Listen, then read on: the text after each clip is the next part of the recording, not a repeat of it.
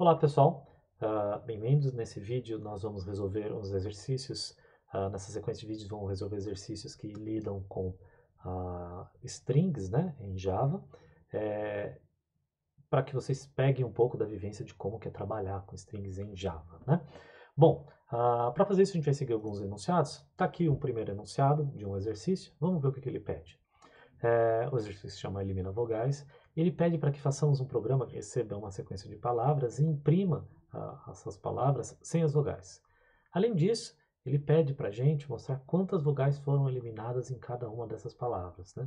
Ele fala que o programa vai receber vários casos de testes, um teste por linha. É, ele fala que as palavras têm no máximo 500 caracteres, que são palavras por, formadas por letras minúsculas e maiúsculas, ah, e a entrada é terminada com marcador de final de arquivo. Né? É, e ele pede na saída também, então, uma linha de saída para cada uma das entradas. Então, banana aqui ele conta três vogais, saída B, N e N, que são as letras, né, só as consoantes. Né? Então, se não tiver nenhuma, nenhuma consoante, a saída é em branco, né? É, ou é, por exemplo, é, se, se, ela tiver só a, consoantes, né, a, a, saída é zero, né, sem, sem mudar nada. Então, vamos tentar escrever esse código aqui. É, Para isso eu criei aqui um arquivo chamado uh, elimina vogais, conforme o enunciado pede, né? Porque o enunciado, se você olhar aqui em cima, ele fala que é, o, o, arquivo tem que, tem que ter o nome elimina vogais, ponto, e a extensão da linguagem que está usando, no caso, Java, né? Ok, então vamos lá, uh, vamos para o nosso, pro nosso arquivo.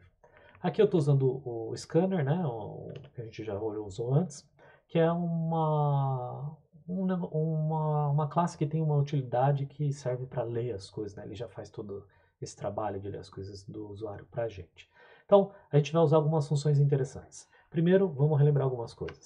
Strings, isto é uma string, elas são delimitadas por aspas duplas, é, e são nada mais, nada menos do que texto, né? Um caractere seguido do outro. Como que a gente declara um único caractere? Bom, se eu fizesse isso aqui, isso aqui, na verdade, não é um caractere. Isso aqui é uma string que tem um único caractere. É uma lista de caracteres que, por acaso, só tem um elemento dentro dessa lista. Né? Então, para dizer para o Java que a gente quer um único caractere, você faria dessa maneira, assim, com aspas simples. Né? Isso aqui é um único caractere para o Java. É, se você tentar fazer algo desse tipo, isso aqui é ilegal, né? Isso aqui o Java não permite, porque isso aqui não faz sentido nenhum para ele, né? Então, string, uma lista de caracteres. Caractere é um caractere único, isso que você escreve ele em Java delimitando por aspas simples, tá? Uh, e isso aqui não existe. Muito bem. Dada uma string, como que a gente pega um caractere de dentro da string? Para isso tem uma, um, método chamado char, é, em inglês, caractere na posição tal, né? Então vamos dizer que esse cara aqui, essa string está numa essa string está numa variável chamada s, né? str, talvez, né? Como é que eu pego uh, um caractere dentro dessa string? Simples. Escrevo string, charete e o número da posição. Então, charete 2, por exemplo. Isso aqui vai me devolver um caractere que eu posso guardar numa variável aqui, caractere, que eu declaro dessa maneira aqui. Legal? Uma outra coisa que o enunciado fala, que a gente vai precisar, é, é que a gente tem que ler o EOF, né, o End of File. Para fazer isso, a gente vai usar uma outra função muito interessante do scanner, que é essa função aqui, hasNextLine. HasNextLine, então, o nosso scanner chama SC, né? Então seria sc.hasNextLine. Esse cara aqui devolve um valor booleano para a gente. O que é um valor booleano? É um verdadeiro ou falso. Se o scanner estiver pronto para fornecer uma nova linha para a gente, isso aqui vai dar verdadeiro. Se o scanner não estiver pronto para dar uma nova linha para a gente, isso aqui vai dar falso. Né? Então a gente pode usar isso para saber se chegou no final do, da entrada. E mais ainda, ele tem também uma função chamada nextLine, que vai mudar a próxima linha. Então, perfeito, acho que já temos tudo que a gente precisa para começar. É, qual que vai ser a ideia? Então a gente vai ter uma palavra aqui, então palavra. A gente vai percorrer essa palavra caractere a caractere, um a um, olhando se é uma vogal ou não. Se for uma vogal a gente conta, e se for uma vogal a gente remove da nossa saída. Tá legal? Então vamos fazer isso. é, a primeira coisa que eu preciso fazer é, enquanto o meu programa tiver linhas para rodar, ainda, para ler né, da entrada, eu vou ficar girando e rodando seja lá o que for que está dentro desse bloco de código aqui. Então, enquanto houver linhas a serem processadas, rode o que está aqui dentro. Então, para cada linha que o usuário fornecer, a gente vai rodar esse cara aqui. Beleza. Próxima coisa a gente fazer, então, é a gente ler a linha, né? É, como é que a gente lê a linha? A gente lê a linha da seguinte maneira. A gente faz aqui string palavra igual sc.next line. Está lida a linha. Muito bem.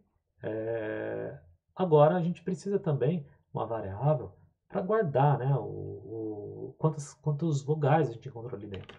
Vou colocar aqui um contador. Muito bem. E aí, bom, vamos primeiro contar então quantas vogais a gente tem. Vamos, não esqueça de inicializar suas variáveis com valor uh, apropriado.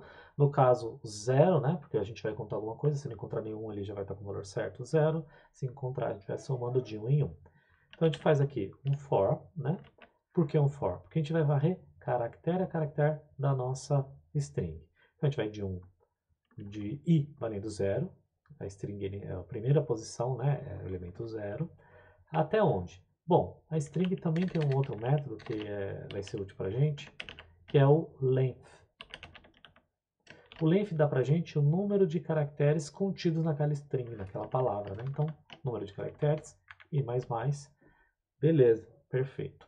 Então ele vai rodar aqui dentro. Aí eu posso pagar o caractere C vai ser igual a palavra charete na posição I, né? Tá ali. É, então a gente tem para cada caractere ali dentro. Primeira coisa que a gente tem que ver é se C. Se C é uma vogal, conta. E outra coisa que a gente tem que fazer é, se C é uma vogal, se C for uma vogal, né? É, elimina. Então vou colocar essas duas coisas aqui como um comentário, né? Para não ficar dando erro na hora for compilar. Vamos fazer a primeira parte. Como que eu sei se o C é uma vogal? Bom, uh, felizmente as vogais não são tantas assim, né? São só cinco. Então a gente pode fazer uma condição booleana aqui, né? Pode fazer o seguinte: boolean é, é vogal. E essa condição vai ser verdadeira se, se e somente se, né?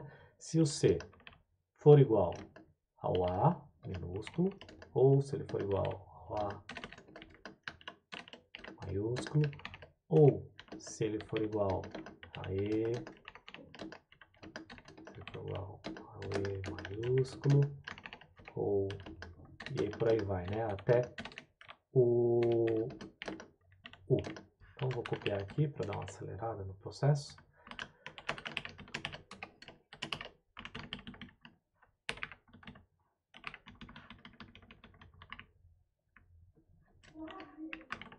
O. U. Então, beleza. Viemos até aqui. Então, no final desse cara, o que, que vai acontecer? Ele vai comparar o caractere que a gente pegou de dentro da string. Ao A minúsculo, E, I, O, U. E em seguida, ele vai comparar com A, E, I, O, U maiúsculo.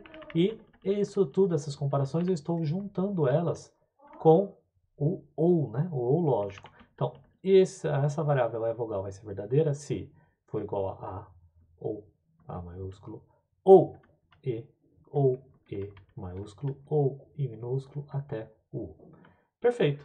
Então, quando a gente tem uma, um booleano, né, uma, um verdadeiro ou falso, a gente quer rodar um código se ele for verdadeiro, mas não quer rodar o código se for falso, tem uma outra construção que a gente já fez, que é o if. Né? Então, se for uma vogal,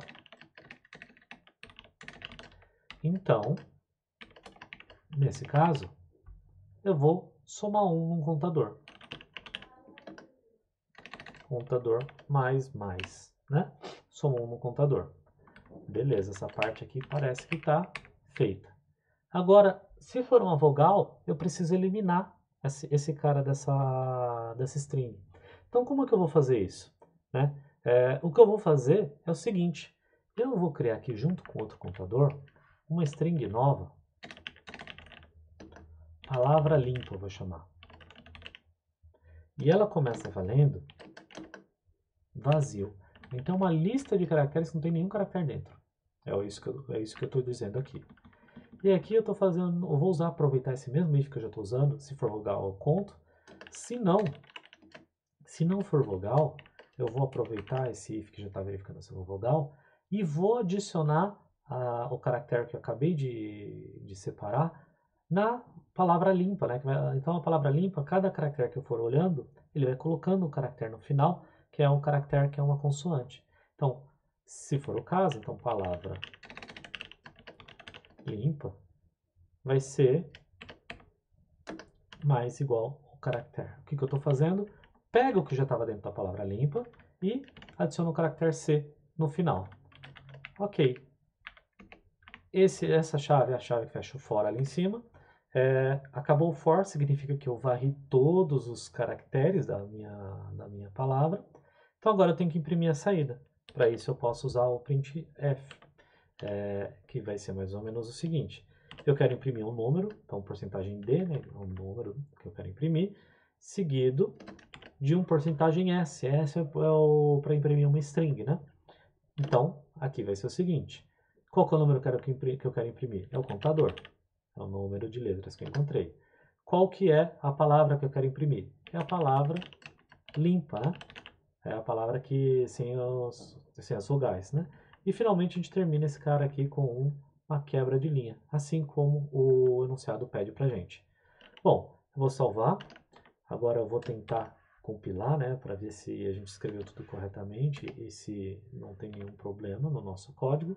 Para compilar, lembrando, a gente escreve javac, né, java compiler, o nome do arquivo .java, compilou, e agora a gente pode testar. Então, vamos testar com algumas palavras aqui. Uh, por exemplo, Araraquara, né?